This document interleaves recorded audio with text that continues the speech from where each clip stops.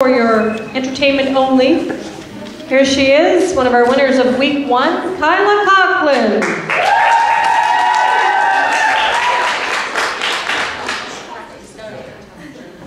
Hi, y'all. I just want to say thanks for everyone who voted for me and all the support. It really means a lot to me. You guys are really making my dream come true. Um, how about we give another round of applause for all the contestants tonight? They really did a good job.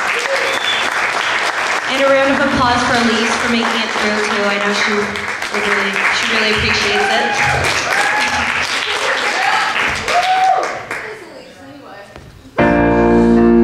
Um, in 2010, Adele released this song.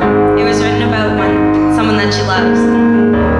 So I just thought that it'd be a really good song to sing. So, ladies and gentlemen, without further ado, this is Make You Feel My Love by Adele.